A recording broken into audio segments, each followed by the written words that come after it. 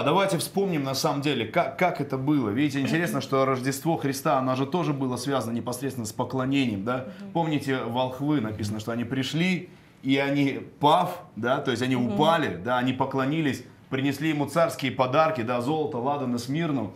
И вы знаете, когда мы читаем все это, иногда вот э, ты думаешь, как это вообще вот могло происходить? Вот они там упали. Мы смотрим вообще, где в присутствии Божьем все время все падают. Да, смотрите, то есть когда храм открывался, там все священники упали. На небесах, представляете, написано 24 старца Падают. падают опять.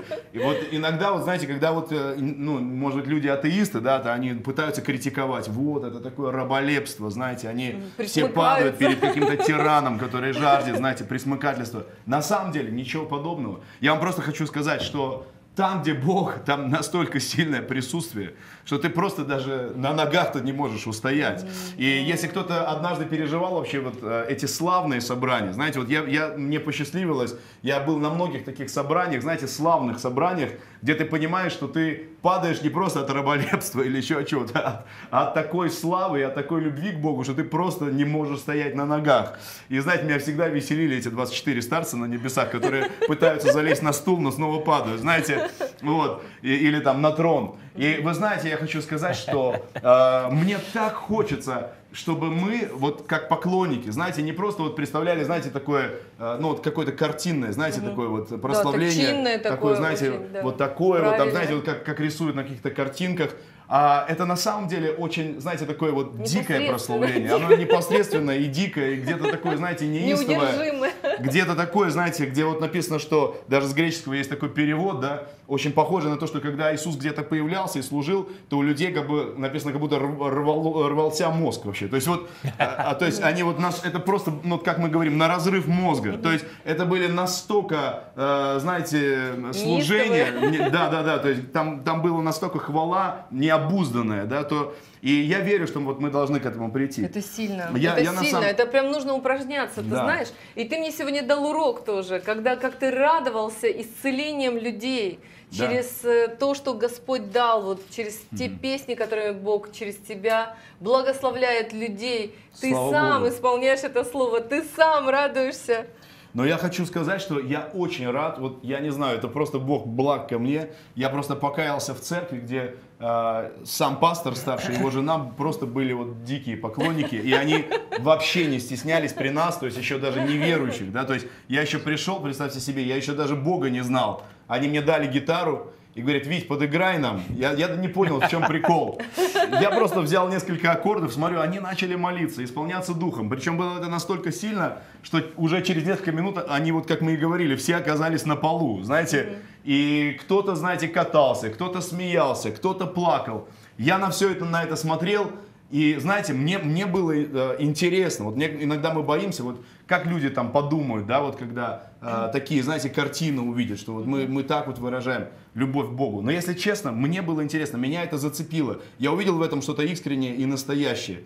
И вот вы знаете, когда, я, я помню, можно я засвидетельствую немножко, да, да как да, поклонение да, да. пришло в мою жизнь. Знаете, мне, э, я ходил в церковь, и я был таким, знаете, тусовщиком и, и лентяем. А мне все говорили, Витя, тебе надо вот, ну, вкусить как благ Бог, тебе надо там начать молиться, вот у себя дома, знаете, вот, угу. как бы читать слово. А я был, ну, правда, очень ленивый парень, я приходил, Библию читал как снотворное, знаете, сразу засыпал, а, о молитве даже речи не шло. И вы знаете, вот как мы вчера говорили, да, что когда э, мало Бога в нашей жизни, да, то вот обезбоживание, да, наступает организма. Да, и у меня вот это обезбоживание произошло, я на полгода ушел из церкви, отступил, потому что я не знал Бога лично.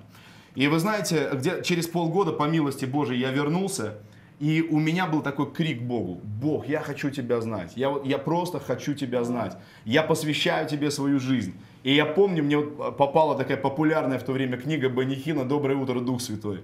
И вот она, и помню, он, он такой челлендж такой кинул христианам, да, я, я, тогда, может, этого слова еще не было, но сейчас мы можем это так назвать. Он говорит, я вообще, говорит, не верю в христиан, которые там молятся меньше одного часа. Говорит, что если ты там молишься меньше одного часа, ты, мол, вообще как бы поверхностный.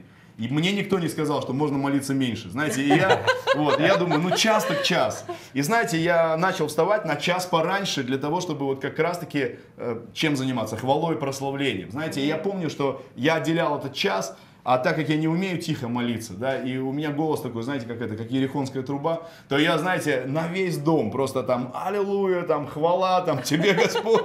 И я воспевал Бога. И даже у нас такая, знаете, была смежная комната с родителями, и там не было замка, там такая была дырка, знаете, там даже такой мамин тревожный глаз иногда, знаете, появлялся в этой дырке.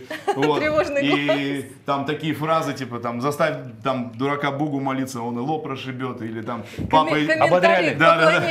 Или папа там шел по коридору, говорит, ну опять, говорит, Витя шаманит там что-то, да. Вот. Но вы знаете, э, когда я, когда я входил в Божье присутствие, я чувствовал, что вот огонь внутри меня, он настолько сильно вообще разгорается. Это было настолько мощно и настолько сильно, что вот этот светильник, вот э, мы даже вчера об этом говорили, чтобы светильник наш горел. Знаете, да. вот этот светильник внутри нас, когда мы хвалим Бога, он разгорается с неимоверной силой. Знаете, вот эта любовь, которая как огонь, да. И я приходил в свой институт, я, знаете, проповедовал там каждому столбу, я помню, да, то есть, и я помню, что когда я начал горячо славить Бога, хвалить Бога, это произошло в моей жизни, то, знаете, я помню, сразу несколько человек после э, моего покаяния пришли в церковь. Потому что э, вот эта страсть по Богу, э, вот она настолько возгревалась в этой в тайной комнате. И я очень э, хочу просто вот сказать сейчас всем, кто нам смотрит. Знаете, все-таки христианство, вот как ты хочешь, не хочешь, это мистика. Это вход в сверхъестественное. Это духовный опыт. Знаете, мы можем многое говорить о всех обетованиях, о всех благословениях или еще, еще о чем-то. Но если у нас а, вот лично не будет вот этой, знаете, мистической, глубокой, духовной Ой, встречи с Иисусом, да. то все это, оно как будто бы как-то вот проходит мимо нас. И да. я бы просто вот не знаю, вот хотел бы вдохновить всех, кто нас смотрит, да, может быть... Просто э, помолись прямо, да, вот начинай быть, молиться, вот, я тебе, чтобы, аминь, чтобы аминь, это помазание аминь. поклонников просто приходило аминь. в жизни людей. Просто хочется, чтобы наши тайные комнаты, они ожили, да? Вот, чтобы, знаете, в наших тайных комнатах был голос хвалы, знаете, причем победоносной, радостной хвалы, да? Потому что в твоей тайной комнате, знаете, там как вход в Нарнию вообще, да, то есть ты действительно можешь зайти в Царство Божье. Давайте мы помолимся, Аллилуйя. чтобы наши тайные комнаты, они наполнились славой. Отец, я молюсь сейчас сегодня за всех людей. И я вижу, может быть, когда-то твоя тайная комната просто была вау, просто она качала, там было мощно. Может быть, какой-то, знаете, пауза наступила или еще что-то. Но я молюсь сегодня, Дух Святой, пусть в наших тайных комнатах, Господь, будет гореть огонь. Господь, я благодарю за то, что возвращается страсть. Я, Господь, благодарю за то, что возвращается вот эта ревность по Богу. Вот это искреннее, огненное, настоящее поклонение. И я сегодня молюсь, Дух Святой, Господь, оживи, оживи эти молитвенные комнаты, оживи эти тайные комнаты каждого верующего во имя Иисуса Христа. Господь, я молюсь, чтобы каждый снова и снова переживал прямо в своем доме, как облако Твоей славы, Господь, приходит, Господь, как Ты обнимаешь, как Ты радуешься, Господь, вместе с нами. Господь, я молюсь во имя Иисуса Христа. Господь, пусть прямо там, в наших тайных комнатах, наши глаза будут открываться, мы будем видеть небеса, мы будем видеть царя на престоле, мы будем видеть, как Ты благ, как Ты милостив, Господь. Я благодарю Тебя, и я вижу, как поток Божьей славы, он изливается там, где подняты руки, там, где открыты уста, там, где горят глаза, там, где происходит хвала. Я вижу это как водопад Божьей любви он изливается прямо на это место. Просто поверьте, что Бог добрый.